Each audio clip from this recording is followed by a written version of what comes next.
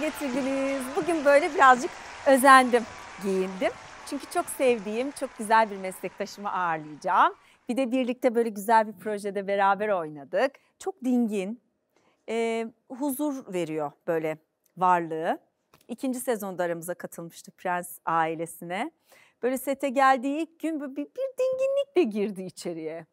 Ve e, çok fazla tabii sahnemiz olmadı ama birkaç ortamda birlikte olma şansına sahip olduk. Bugün aslında daha derin tanıyacağım kendisini sizlerle birlikte. Ve bir cümlenin peşinden gideceğiz tabii ki her konuğumla olduğu gibi. Efendim Agustin diyor ki hayat bir kitaptır ve gezip görmeyenler hep aynı sayfayı okur. Hatırlıyorsanız sosyal mecrada da bir programda söylediğim söz her yere dağıldı.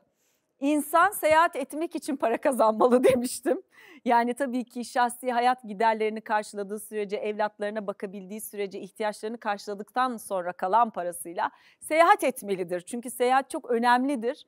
Ee, sağ olun çok güzel geri dönüşler yaptınız. Niye bu sözü seçtik? Çünkü canım konuğum seyahat etmeyi çok seven ve çok gezen e, bir konuk Zeynep Tuğçe Bayat konuğum. Hoş geldin. Hoş bulduk. Nasılsın? Ne güzel şeyler söyledin. İyi misin? Çok iyiyim. Çok güzel olmuşsun. Teşekkür ederim. Hemen su servisinizi yapıyorum Zeynep Aa. Hanımcığım. Ben çok heyecanlanırım. O yüzden de çok susarım. O yüzden Tamam ne zaman istersen ben kalkıp kalkıp suyunu tazelerim. Hiç dert etme lütfen. Teşekkür ederim. En son ikinci sezon e, lansmanı vardı. Röportajlar Evet. yaptık. Beraber bir araya geldik. Ondan beri nasılsın? iyi misin? Çok iyiyim. 2024 benim için hep daha önce yaptığım işlerin yavaş yavaş çıktığı bir sene oluyor. Evet. Öyle başladık. O yüzden böyle onun bir heyecanı var. Tabii ben de merakla bekliyorum hepsini Müthiş. Peki Prens'teki rolünden birazcık bahsetmek ister misin? Tabii artık e, ben bütün arkadaşlarımı ağırlamaktan çok keyif alacağım. E, çünkü biliyorum hepiniz de çok severek izliyorsunuz. Müthiş geri dönüşler alıyoruz. Ve bizim ikinci sezonumuzda ailemiz kocaman oldu ve sizlerle tanışma şansımız oldu. Çok mutluyum ben o yüzden. E, birlikte çalıştığımız için biraz karakterini anlatmak ister misin?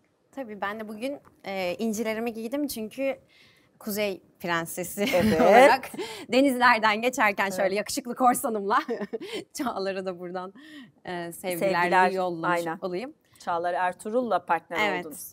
Evet. e, bir de tabii Prens'le. Bizim böyle bir e, Giray enteresan- partneri. Evet aynen öyle. Müthiş bir kesişmemiz oldu. Birlikte böyle e, bayağı yollar açtık. Bir yerlere gittik geldik. Çok eğlenceli geçti benim için. Birazcık da rüzgar gibi geçti gerçekten. Değil mi? Hani böyle Hızlı. hem böyle yeni bir ekibin arasına katılmış olmak da enteresan bir şey. Genelde bir ufak korkarım ama senin dediğin gibi böyle e, çok o kadar tatlı bir ekip vardı ki zaten böyle herkes kucak kucağını açtı böyle bizi bekliyor gibi bir şeydi. Hiç fark etmedim bile yani hani farklı bir ekibe girmişim ikinci sezon işmiş gibi değil de gerçekten böyle hep beraber baştan başlıyormuşuz gibiydi. Ya Güzeldi. biz garip bir bağ oldu hepimizin arasında. Biz gerçekten kendimizi Bongomyalı zannediyoruz. Ve böyle bayağı bir ülkemiz varmış gibi hissediyoruz. Ve oraya gelen herkesi böyle mutlulukla kabul Aynen eder bir öyle. halimiz oldu, oldu gerçekten yani. Garip bir şekilde kocaman bir aile olduk. Güzel bence çok güzel. Ben ilk sezonunu izliyordum. Ee, izlemiştim. Hatta neredeyse parça parça bitirmişim e, sosyal medyada önüme çıkan videolarla. Sonra tabii e, ikinci sezonun çekimlerinden önce baştan sona tekrar izledim ama e, seninle ilgili şöyle bir şey söylemek istiyorum. Ben diziyi izlerken Cansel de çok yoğun çalışıyordu. E, normalde birlikte izliyoruz. Hı hı. ama bunu böyle ben tabletimi böyle yatağa koyup gizli gizli işte o daha uyumadan falan böyle bir bölümü daha bitirebilirsem çünkü akıyor yani Evet. izliyorsun. Böyle o senin sesini duyuyor. Ya e, kim Kimin sesi bu? Kimin sesi? Ne kadar güzel oynuyor, ne kadar güzel deyip böyle yanıma oturup ya ne güzel oynuyorlar, ne güzel oynuyorlar diye böyle bir şekilde sonunu birlikte bitirdik onunla. Yani şey çok ilgimi çekmiş, çok hoşuma gitmişti. Çünkü birazcık da bir oyunculuk tarzı olarak bir referans arıyorsun şimdi. Çok bambaşka bir format. Evet. Çünkü komedi ama gerçekçi bir taraftan uçuk yani evet, çok zor. acaba nasıl diye düşünüyordum. Ee, senin ve tabii diğer oyuncu arkadaşlarımın da hiçbirinin hakkını yemeyeyim. Şey çok hoşuma gitmişti. Gerçekten böyle e, inanılmaz gerçekçi yani atıyorum Haşerya ile ilgili üzüldüğün Evet. bölümlerde hani hiç ben bir komedi oynuyorum şimdi hani onun böyle bir ufak tatlı bir hani şeyi olur ya öyle bir şey yoktu. Gerçekten ona inanıyorsun o zaman çok güzel sürüklüyor dizi seni. Yani hani onun gerçekten öyle bir dünya olduğuna, öyle bir aile olduğuna inanıyorsun ve e, sonra onun absürtlüğüyle bu birleşince gerçekten iş o zaman komik oluyor bence. Ya tabii bu işin başarısı Giray'a ait daha çok Giray'a ve Kerem'e. Çünkü ben de işin içine girdiğimde birinci sezon ne yapmam gerektiği hakkında en ufak bir fikrim yoktu. Daha önce komedi oynadım tabii ki ve komedi oynamayı çok da severim ama televizyon dizilerinde o kadar çok drama oynadım ki komediyi de çok sevdiğimi ve hani becerebildiğimi çok anlatabildiğim alanlar kalmadı yıllar geçtikçe. E, fakat bu bir de absürt bir komedi Evet. olduğu için ama aslında bir o kadar da gerçek olduğu için dediğin gibi. Orada tabii Giray ile Kerem ne yazdıklarını ve ne yarattıklarını o kadar hakimler ki bizi böyle gerçekten bebek oyuncak bebekleri e, sahneye oturtup da konuştururmuşçasına bir us- üslupla ve üstatlıkla bence hikayeyi bize anlatıp yol verdiler. O başarı onların başarısı Tabii benim aslına de bakarsan. e, yani Kerem ve Giray'ın sette olması Evet. ve birlikte oynuyor olmak Evet. müthiş bir rahatlıktı. Yani Aynen. hani hem yazan kişilerin orada oyuncu olarak aramızda olması gerçekten çok kıymetli. çok çok kıymetli. Ve işleri olmadığı günler bile setteler. Evet. Bence bu çok önemli. Senarist olarak da oyuncu olarak da benim bugün setim yok ya ben evimde oturayım iki uzanayım demeyip hayır her gün setteler. Her gün oyuncu arkadaşlarıyla Aynen bağ öyle. kurmuş vaziyetteler. Bu insanı iyi hissettiriyor. Zeynep'ciğim biraz önce sana da söyledim kaydı kestik o arada bir şeye bakmak için. Ee, bizim bayağı yaş farkımız varmış ama ben hiç öyle hissetmemiştim seninle. Çok olgun bir ruhsun gerçekten. Hani bayağı yaş farkımız var derken hani ba- 13 yaş var aramızda. ama Zeynep'in duruşu, konuşması, tavrı, e, ruhun önde gitmiş galiba yaşından gibi geldi biraz. Ya Öyle çok misindir? ilginç bir şey söyledin çünkü e, şey derlerdi hep böyle bir kızılderili atasözü Evet, e, var ya hani koşmayın işte e, ruhunuz arkada kalır diye. Ben de o küçüklüğümden beri düşünüyorum. Bende de benim de ruhum önde gider. Ve benim böyle bedenim ruhuma yetişmeye çalışır gibi. Hem çok hayal anlamında, hayalperestlik anlamında. Hem de o hatta böyle şey oluyordu. Özellikle ufaklığımdan işte bu yaşıma kadar hep bir sürü farklı şeyle aynı anda uğraşırdım. Ve herkes ya yorulmuyor musun? Evet mahvoluyorum, parçalanıyorum ama hiçbirinden de vazgeçemiyorum. Hepsini böyle birkaç tane şeyi birlikte götürmeyi çok severim. O da bilmiyorum gerçekten şeyi de hissediyorum. Ee, ailem mesela çok endişelenmezdi bu kız ne yapıyor acaba diye. Hani bir Güven yaşımdan bir evet mi? yaşımdan büyük bir tavrım hep vardı açıkçası. Peki bu biraz e, böyle genç kız gibi genç kız olmanı engelledi mi? Uçarı kaçarı olmana mani oldu mu? Yani engelledi mi mani oldu mu? Aynı aslında ama aynı cümlenin içinde iki kere söylemeyeyim diye. Yani bu haşarılıklar işte blue çağlar onlar bunlar o deli halleri yaşamanı engelleyen bir ruh, ruhun önden gidişi miydi? Yo lisede mesela lise bitti. Ee, üniversite sınavına girdim. Ee, ertesi gün pazar günü üniversite sınavına girdim. Pazartesi günü gazetede soruları yayınlamışlardı. Böyle baktım. ım, sonra valizimi yapmaya başladım. Nasıl? Annem de dedi ki kızım ne yapıyorsun? Ben dedim İstanbul'a gidiyorum dedim. Dedi ki dur daha sonuçlar açıklanmadı. Dedim ki ben kontrol ettim eğer kaydırma yapmadıysam İstanbul'daki bir sürü güzel üniversiteyi kazanıyorum dedim. Ya olur mu öyle şey? E ne yapacaksın İstanbul'da daha Haziran işte bir, Eylül'de başlıyor Eylül'de başlıyor bir açıklansın. Yok dedim ben oyuncu olacağım, konservatuar sınavlarına gireceğim. O yüzden e, İstanbul'a gitmem lazım. Belki ders alırım. Nasıl onları araştıracağım. Bir dakika dedim. bu böyle aniden mi yani önden hiç konuşulmadı mı? Ya onlar inanmak istemiyordu sanırım. Ah! bir şekilde oyuncu olmak istediğimi. Çünkü çok küçük yaştan itibaren. Ee, sanıyorum şimdi hmm, 19 95-99 o yıllar arasında bir tane film izlemiştim. Ki zaten ilk gördüğüm yani sinemaya ilk gittiğim andan 5 itibaren. 5 yaşla 10 yaş arasından bahsediyoruz Öyle galiba. bir şey evet. Tamam. Ve o filmi izledikten sonra da özellikle emin oldum. Ee, zaten tiyatroya da gitmiştim. Ben kesinlikle sahnede, televizyonda, filmde. Evet, Aşık Shakespeare, Shakespeare in Love. Aa, çok güzel. Aynen, bir orada şey çok hoşuma gitmişti. Ee, Erken izlemişsin. evet, ya 99 yapımı olması lazım. O civarda bir Hayır şey. yaşının üstünde bir film çünkü. Yani izleyip anlayıp anladıktan sonra özümseyip ben oyuncu olacağım demek bak gene ruh önden E sonra gidiyor. şey yaptım çünkü e, Shakespeare'in tüm kitaplarını almaya başladım. Hmm. Hmm, Shakespeare'le tanışınca bu şekilde. Shakespeare'in tüm kitaplarını almaya başladım. Bu sefer onların ön sözlerinde böyle e, yazarların açıklamaları, editörlerin, çevirmenlerin şeyleri olur ya böyle uzun uzun anlattıkları. Orada aslında Shakespeare'in antik Yunan'dan oyunları tekrar tekrar işte yaptığını. Bu sefer antik Yunan'dan alıp oyunları yani konservatuvara girmeden herhalde bayağı bir hani e, birinci sınıf, ikinci sınıfta okumam gereken tüm kitapları, oyunları zaten önceden okumuş oldum böylece. Yani o öyle bir süreç başladı benim için. Sonra? E sonra ne yaptım gerçekten e, önce bir küçük çaplı bir kıyamet koptu evde. bu, bu çıldırdı bu kız Tek gidecek diye. musun? Yok kız kardeşim var benden 14 ay büyük. O da tasarımcı. Biz böyle işte, e, ikiz gibiyiz aslında öyle büyüdük. E, o da işte benden bir sene önce gitmişti zaten Sen üniversiteye. Mersin'desin bu Evet, arada. aynen. Ay, ablan zaten gitti. Aynen. Sen de diyorsun ki ben de gidiyorum. Evet, ablam İstanbul'da değildi ilk başta. O da bir e, bizim ailede biraz şey oldu. Ben hukuk fakültesi bitirdim. O biyoloji bitirdi. O sonra o tasarımcı olmak için yetenek sınavlarına girdi. İşte çok güzel çizim yapıyordu. Sonra o, o tekrar e, güzel sanatlara girdi. Ben de konservatuvara girdim hukuk fakültesini bitirdikten sonra. Böyle enteresan bir şey oldu. Tabii arayı geçmiş gibi olduk ama yani Yok, haşarılıktan söylüyorum. Hani o blue çağ işte çılgınlıklar benim bu şekilde çılgınlıklarım vardı ve gerçekten o valiz yapıldı ve ertesi günü e, ben İstanbul'a geldim. Tabii halam vardı. Burada Ha, birkaç tane halam dedim, vardı. İstanbul'da kim var? Ama o da çok garip. Onlar da çok e, böyle kafaları rahat insanlardır diyeyim. Çok tabii çocuklarını da İstanbul'da büyüttükleri için benim İstanbul'u hiç bilmiyor oluşumu tam anlamlandıramadılar sanırım. Çünkü ben onların da evine gider gitmez ben bir Taksim'e gideyim dedim ama Taksim nerede hiçbir fikrim yok. Öyle gidip dolaşmaya başladım. E, o şekilde oyun atölyesini, Duru Tiyatro'yu buldum. Ve e, gerçekten iki Gerçi üç onlar ay... Kadıköy'de. Taksim'den Kadıköy'de, sonra Kadıköy'e evet. gitmiş Bayağı olmalısın. ben inanılmaz böyle vapurda binip bir şekilde kendi kendime keşfettim.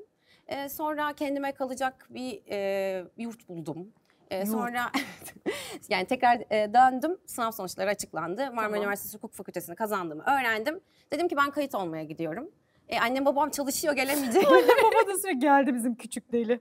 Şimdi ne yapıyorsun çocuğum? Ben şimdi gidiyorum hukuk fakültesine yazılmaya. E Peki nerede çocuğum. kalacaksın işte halanlarda kal bir süre falan. Yok ben hani kendim kimseden böyle hani destek almak istemiyorum. Kendim işte bulurum ben merak etmeyin. Söz veriyorum size her şeyi haber vereceğim diye böyle gerçekten yurdum kalacağım yurdu buldum. Tamam. İşte e, okuluma yazıldım gittim tek başıma. Şimdi bizi izleyen bir sürü genç var. Şimdi bunlar yapılırken bu maddi kaynak nereden? Bir de bize bunu anlat. Çünkü çalışmıyorsun. Ailenle bir kavga kopuyor orada ama ben şuradan anlıyorum ki bu resimden annem baban koşulsuz bir destekte ve harçlığını veriyorlar ve sen bunları yani yapabiliyorsun şöyle, mu? o Nasıl dönemler oluyor? bizim için biraz ailecek zor dönemlerdi. Hı hı, E, ailemin işlerinin çok iyi gitmediği dönemlerdi. Tamam. Ve ben e, burslarla okudum aslında. Hukuku burslu Evet, okudun ama yurt, sene boyunca. yurt da mı o zaman ücretsiz Ee, oluyor? yo devlet yurdunda kaldım ve çok düşük bir e, Ha. şeyiydi. Yani Bunu karşıladı ailen. aynen öyle evet. Çünkü gelir gelmez çalışmaya da başlayamazsın. Yok çalışmaya tiyatroda başladım ama ilk Tamam. başlarda tabii ki zaten tiyatrodan para kazanmayı konuşmak biraz e, zor. O dönemde Tabii. zaten öyle bir şey yoktu. Birazcık gönüllülük esasına dayalı e, ufak ufak harçlıklar vermeye başlamışlardı daha sonradan bana. Tamam. Ama sonra tiyatroda tabii dört sene aslında ben çalıştım e, Tamam. bil fiil hukuk fakültesinde okurken. Tamam. Orada da e, tabii ki o şeye tiyatroya çok fazla menajerler, ajans sahipleri geliyordu. Oynuyor musun tiyatroda yoksa Hayır, her şeyi yapıyordum. asistanlık yapıyorsun? Her şeyi. Tamam. Kafesinde de bir bir şey e, yaptım, atıyorum ışıkta da yaptım, kostümleri topladım, ütüledim, kuru temizlemeye götürdüm. Tamam tiyatroda Mutfağında aslında her şeyini sahne yaptım. arkası ve dışında. bir kafe var. O kafede ne gerekiyorsa Aynen. canla başla çalıştın. Aynen öyle. O süre zarfında böylece bir menajerim olmuş oldu ve deneme çekimlerine gitmeye başladım.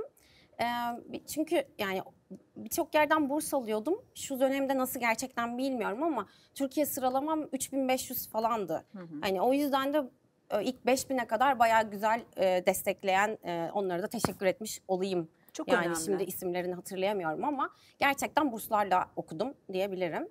Yani aslında buradan da anlıyoruz ki bir birikimimiz varsa destek olmak istiyorsak üniversitede okuyan evlatlara destek olmak ileride başarılı isimlere e, vesile olmak anlamına geliyor. Dolayısıyla çocuklarımıza bağışlarda bulunmak, yardımlarda bulunmak çok kıymetli. Bunu da görmüş oluyoruz şu anda. Aynen öyle. Bu süre zarfında da m, okulum da Haydarpaşa'daydı. Kadıköy'e o yüzden çok yakın Tabii. hep böyle.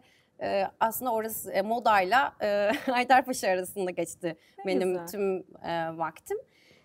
Bir şekilde bitirdim ama o kadar utangaçtım ki bir taraftan. Yani e, Emre Kınar'la çalıştım. Asistanlığını yaptım 4 sene. Tüm oyunlarda. e, ve oyuncu olmak istediğimi söyleyemedim.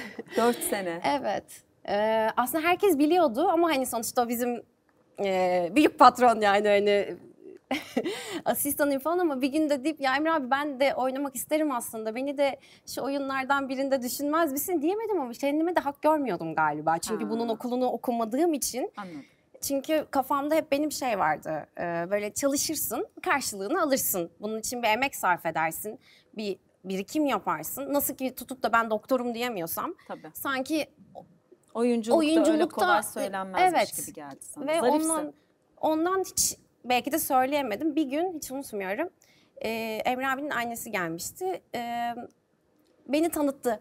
Dedi ki bu kız var ya bu kız dedi. Geleceğin yönetmeni olacak dedi.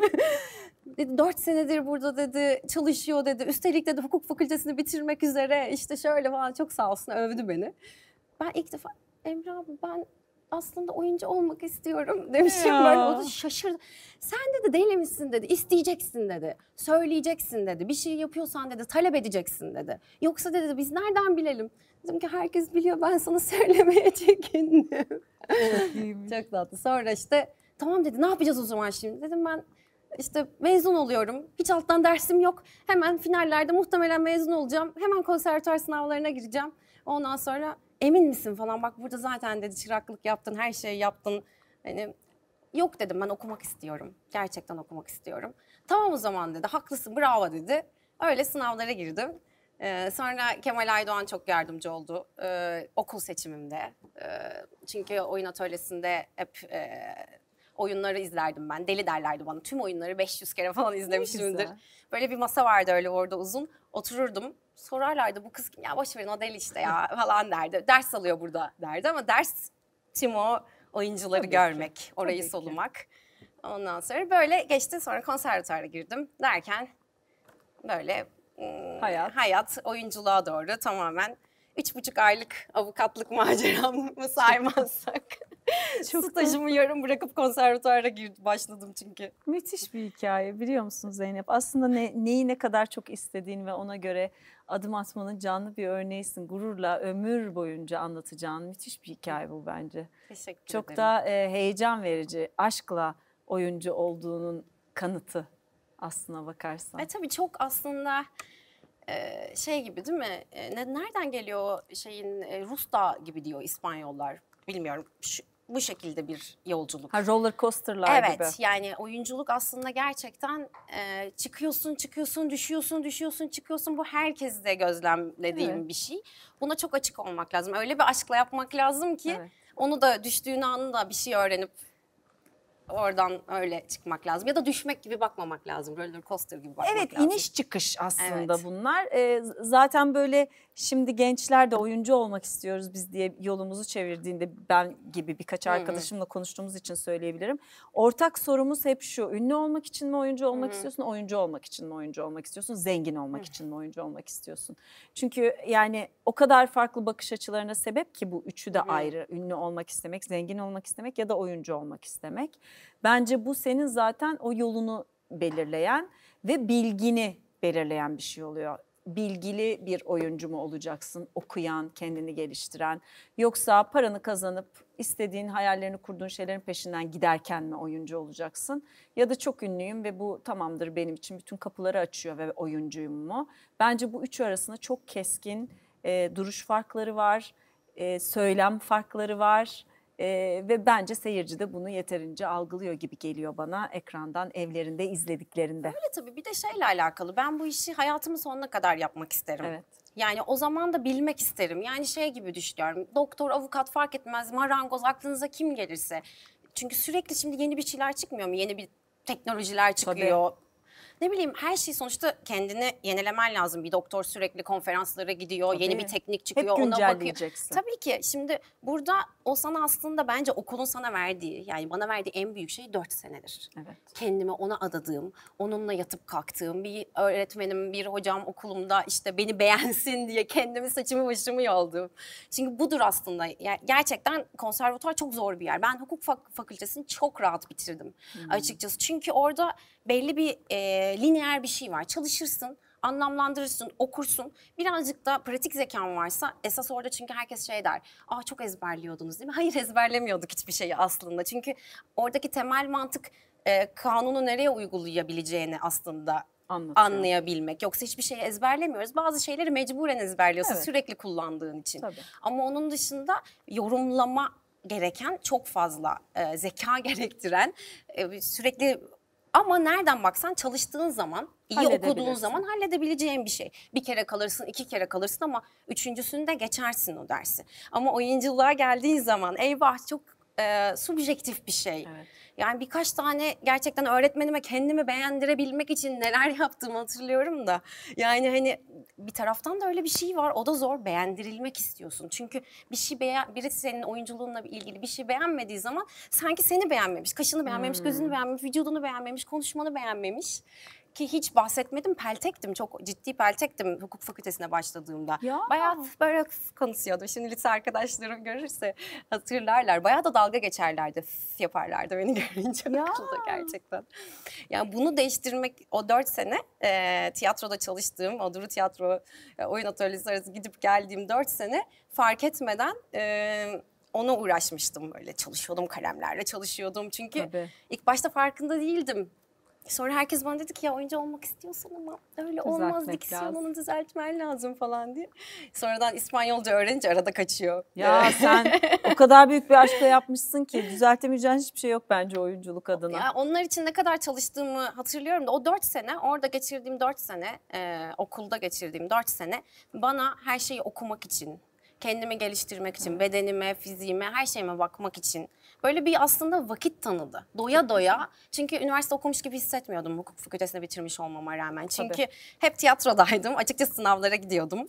E, çünkü devam zorunluluğu olan bir okul değil. Ee, hiçbir şey hatırlamıyorum orayla alakalı. Tabii ki çok güzel arkadaşlarım var. Hatta e, sınıf arkadaşım, kız kardeşimle evlendi o kadar ama. ne güzel. evet. Çok tatlı. Aynen ama e, her gün okula gitmediğin zaman sınav dönemleri en çok aklımda kalan e, hukuk fakültesine dair çok gerçekten çok zorlu. Hiç uyumadığımız birkaç Tabii. ay. 700 sayfa kadar kitap okuduğum. Ben bir de nottan falan da çalışamazdım. Alırdım koyardım o 700 sayfayı.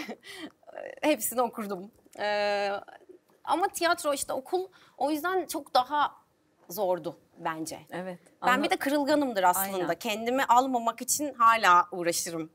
Bir de tabii psikolojik dayanıklılığın önemi de çıkıyor burada. Kendini sevdirme telaşı, sevilmediğinde ya da beğenilmediğinde orada hala dik durabilmen için psikolojik olarak çok dayanıklı ve biraz böyle özgüvenini de sağlam tutman Ya gereken bir de şimdi şey. oyuncular hepimiz bir küçük deliyiz. Bir küçük mü?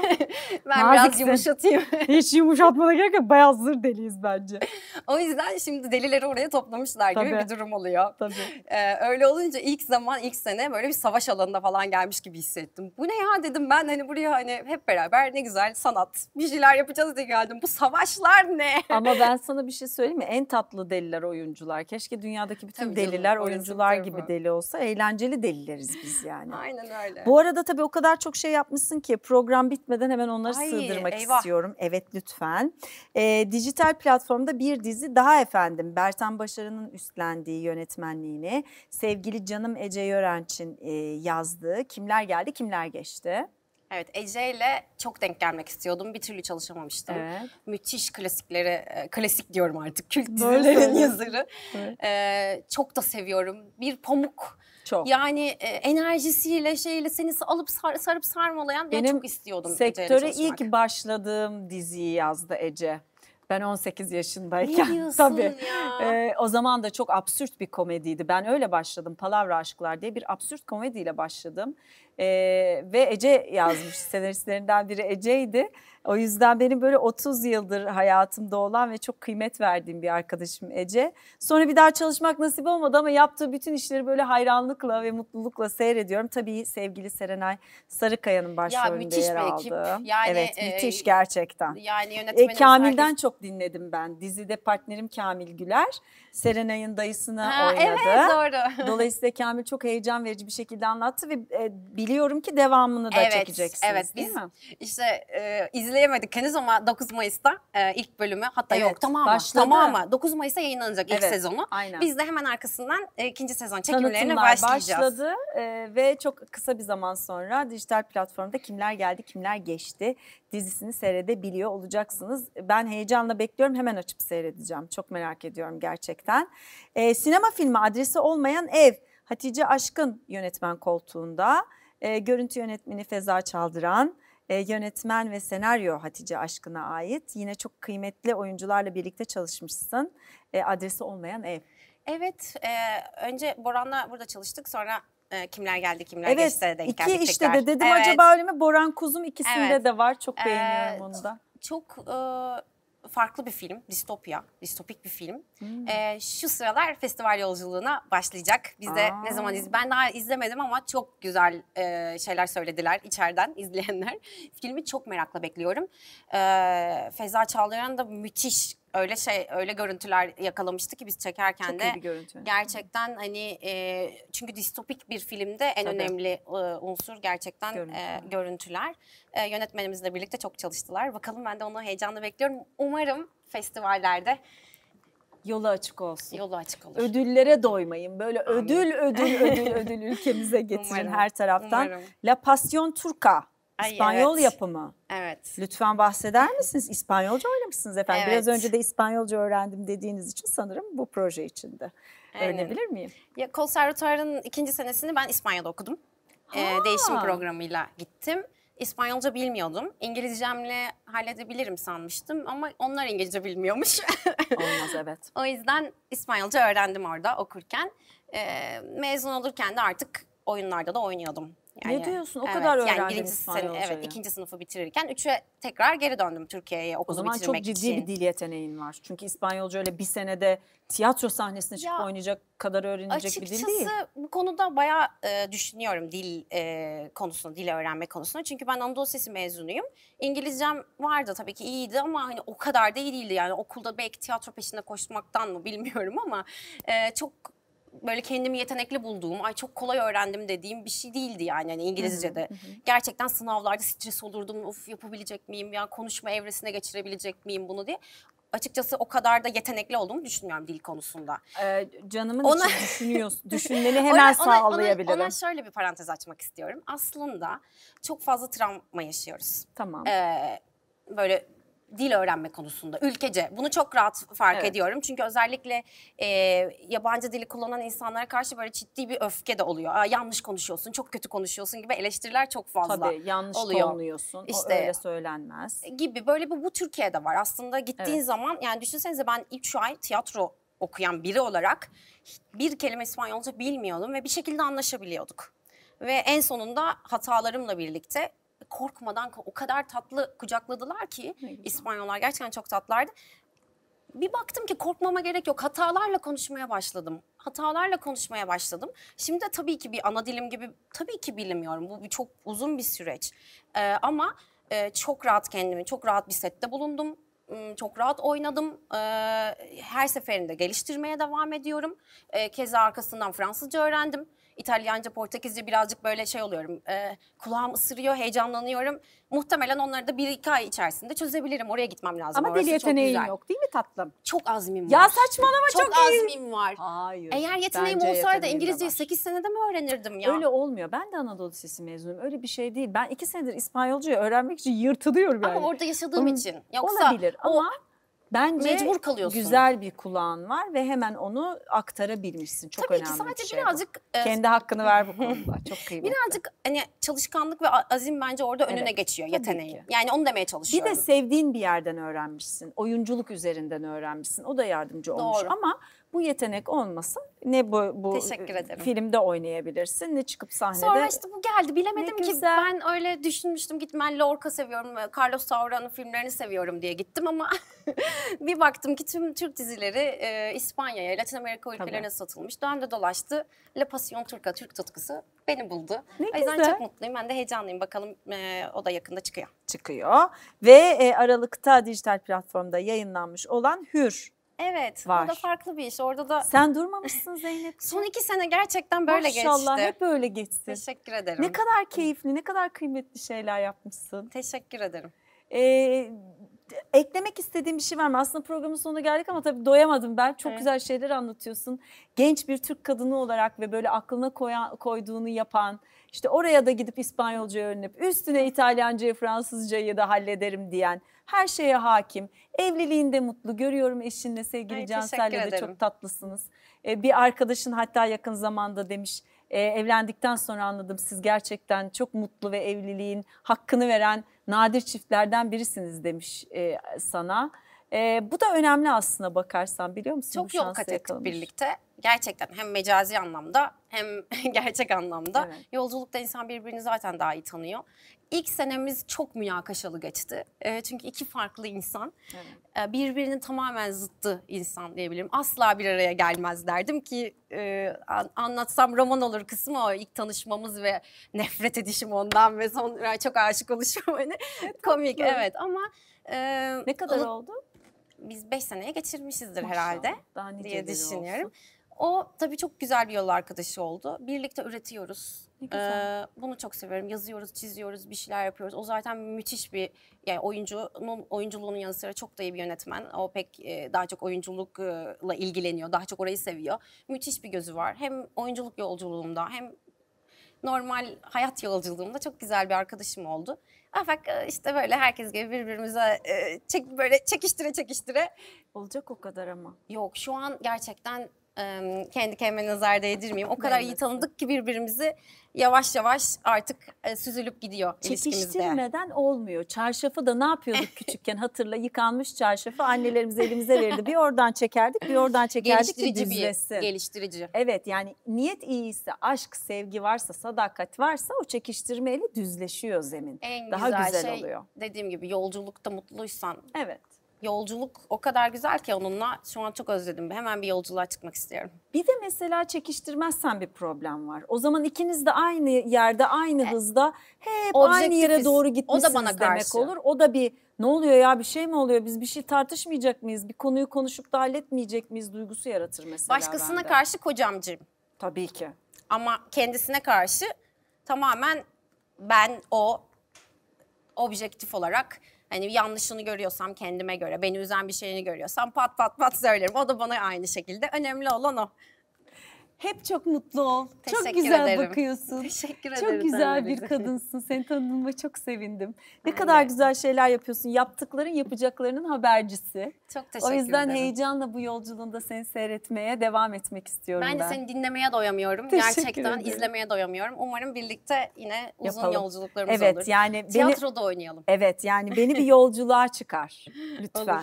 Tiyatro Evet. dedin şu anda kafamda bir şey canlandı. Dur bakayım. Sen defterime yazarken ben de ilk kez bu programda bir ilk oluyor. Ben de bir mesaj atacağım şimdi. Belki de birlikte tiyatro yaparız Yani diye. ne diyorsun? Evet çünkü e, aa, yayında da böyle bir şey olur mu? Olur. Bizim yayınımızda her şey olur. E, çok şahane bir tekst var. Ah. Acayip heyecan Ah. duydum. E, ve orada e, benim kızıma oyuncak oyuncu arıyorum. Ah, ne güzel. Evet. Ben e, çok isterim şu anda e, tiyatro oyununu bana tekstini yollayan hem canım arkadaşım hem yönetmenime biraz önce stüdyoya girmeden dedi ki kızını kim oynasın? Bak böyle şeylere ben çok inanırım. Şimdi senin ismini yolladım. İnşallah olsun ederim, diyeceğim. inşallah olur. Çünkü çok güzel bir tekst, çok heyecan verici seneye inşallah her şey yolunda giderse tiyatro festivalinin açılış oyunu olacağız diye niyet ettik. Ah ne kadar güzel. Yani çok heyecanlı ve sürprizli bir tekst. İnşallah böyle bir karşılaşırız orada diye dua Umarım. ediyorum şu anda. Uzun bir yolculuk Evet, olsun. Hep beraber meslek olsun. hayatımız boyunca. Kesinlikle olsun.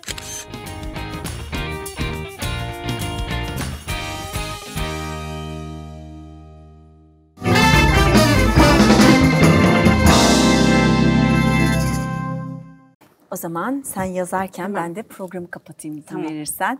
Ee, geldiğin için yine çok teşekkür ediyorum her şey için. Anlattığın her şey için, yolculuğuna verdiğin değer için, hak ediş için. Her şey için teşekkür ediyorum. Davet ettiğin için, bana söz verdiğin için, Her zaman. güzel bekliyoruz. sözlerin için. Yaşasın. Teşekkür ederim.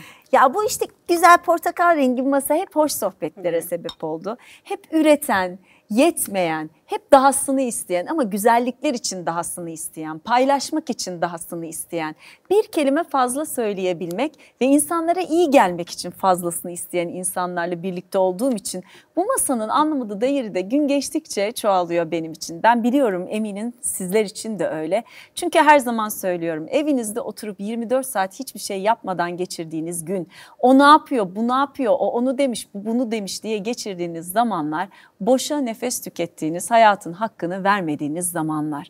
Eğer onlardan biriyseniz yol yakınken dönmenizi sevgiyle tavsiye ederim. Çünkü inanın bana üretmek, kendi yolunuza bakmak, el alem ne der diye düşünmeksizin içinizden geleni yaşamak o kadar keyifli ve lezzetli ki bunu kaçırmayın. Bir başka bambaşka sohbetlerde tekrar bir arada olacağız. Hoşçakalın. Canım Zeynep, seninle az da olsa set paylaşmış olmak, seni tanımak çok büyük bir keyif. Başarılarını izlemeye devam edeceğim için heyecanlıyım. Sayfasının satırlarını şöyle tamamladı. Canım Ceyda, iyi ki tanıştık. Umarım yollarımız yine, yine, yine kesişir.